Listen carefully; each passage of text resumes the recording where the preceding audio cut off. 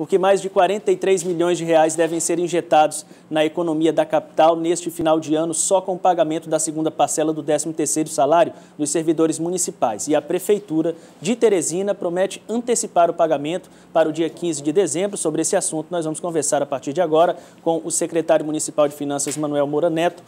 Elivaldo Barbosa, por favor, tome assento. Secretário, bom dia. Secretário, como Bom vai? dia. Qual foi a estratégia da Prefeitura para conseguir um volume de caixa suficiente e antecipar esse pagamento? Pois é, bom dia, Tiago. Bom dia, Elivaldo. Bom dia, secretário. A gente já teve aqui algumas vezes, né? Sempre com pauta negativa e agora estamos com uma pauta positiva para discutir, né? É, não é fácil você, em- no período de é, 30 dias, você pagar três folhas de pagamento.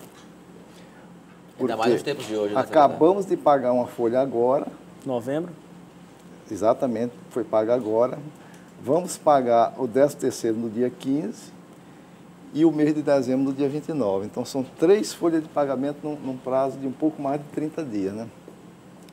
Não é milagre não, né? Desde o- de janeiro que se começou a trabalhar isso- essa questão, né?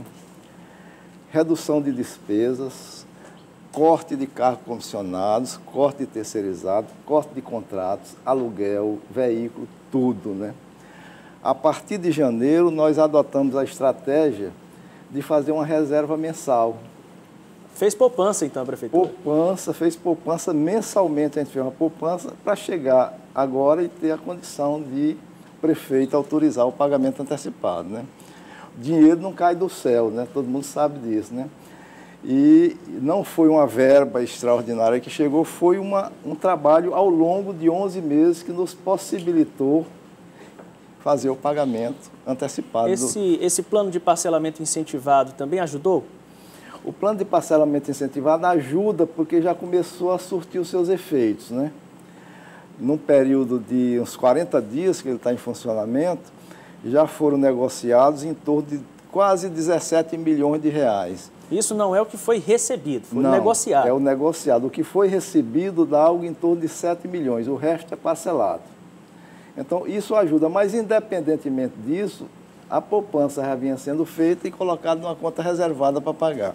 Mesmo sem esse parcelamento, daria para pagar o 13 terceiro no prazo marcado. né? Essa, com essa austeridade fiscal adotada pela Prefeitura, significa dizer que o equilíbrio financeiro volta a ser consistente? O pior já passou em relação à crise, A secretário? situação continua difícil, tá?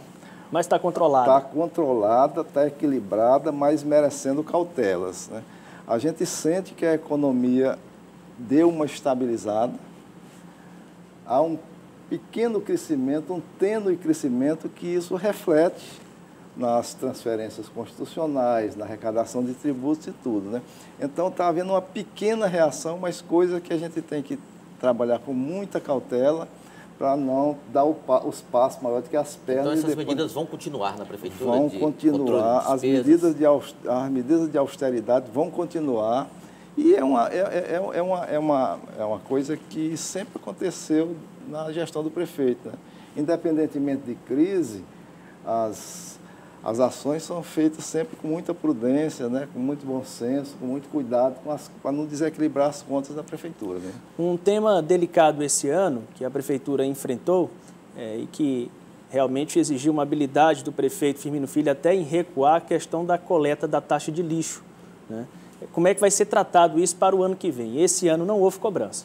É, não houve cobrança, um, um gesto de sensibilidade política, como você falou, está previsto para o próximo exercício, 2018, para ser cobrada conjuntamente com o IPTU. Deve Vão vir os dois juntos, vai ser um boleto só, então. um boleto só, mas separados, não é, não é uma conta casada, vamos dizer assim. É uma conta que a pessoa pode pagar, deve pagar os dois, mas pode escolher, paga um ou outro, né? O, o correto, o normal será pagar os dois, mas não é vinculada, não é casada. Secretário, outra despesa que atormenta, segundo o próprio prefeito Firmino Filho, as finanças dos municípios é com a saúde. A Constituição, a legislação manda 15% da receita investir no setor, mas a prefeitura já compromete mais de 30% da receita com a saúde.